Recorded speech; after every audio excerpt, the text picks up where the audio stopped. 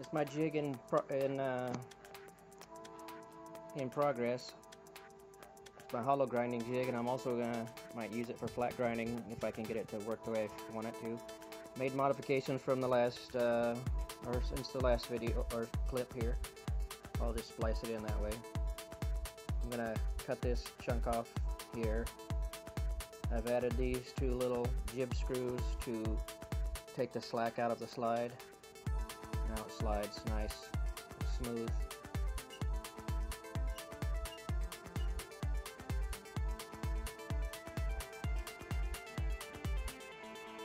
There's no there's no slop in the jig. The machine shakes, but the jig is straight and tight.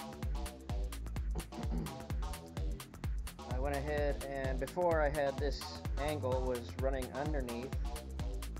Actually, it was this angle, then this angle was under there, and then this piece was underneath, and that didn't work out good because it left a step in the middle.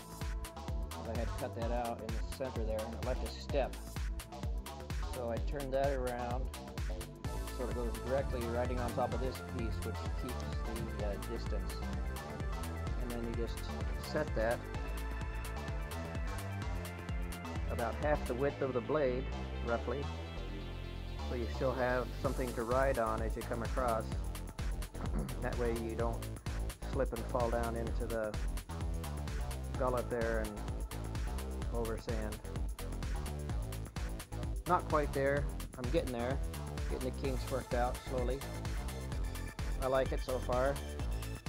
Only thing I've invested in it really is time. This is all scrap that's been laying around. Uh, too small for other things. Or off pieces that I got for next to nothing, like 15 cents a pound over at the machine shop.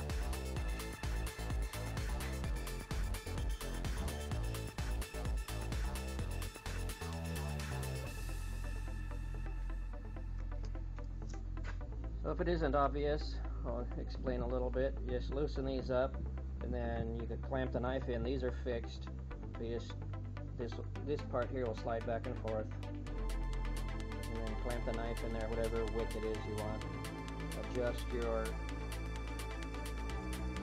um, little shelf there that it rides on in and out, depending on the width of the, or the thickness of the blade as well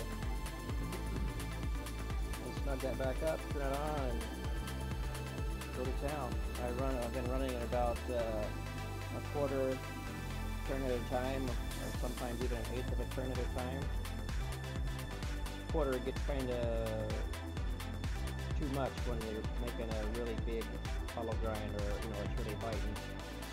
You're starting to get into a lot of it. Then I'll go back to an eighth of a turn each time.